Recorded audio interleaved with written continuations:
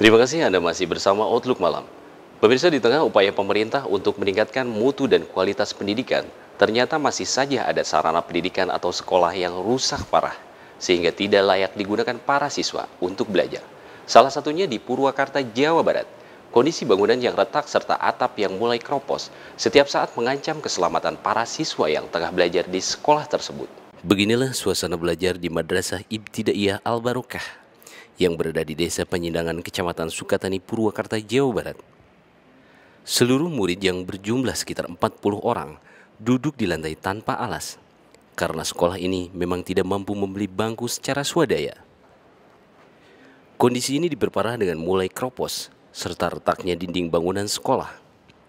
Sementara jendela yang terbuka lebar karena tidak ada kacanya, terpaksa ditutup dengan bilah bambu serta kawat.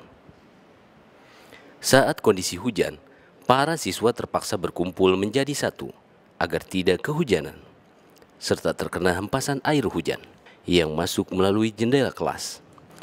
Titin salah seorang guru mengatakan, kerusakan bangunan sekolah Madrasah Ibtidaiyah Al-Barokah ini terjadi sejak tiga tahun lalu.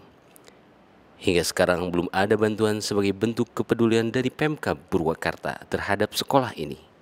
Takut ya, kalau lagi hujan mah becek. Selama tiga tahun itu sudah pernah tersentuh perbaikan belum dari pemerintah, bantuan gitu? Belum. Para siswa hanya bisa berharap pemerintah Kabupaten Purwakarta lebih peduli pada nasib mereka agar mereka lebih nyaman belajar dan tidak khawatir dengan bangunan yang roboh. Dari Purwakarta, Roni Kemuning TV melaporkan.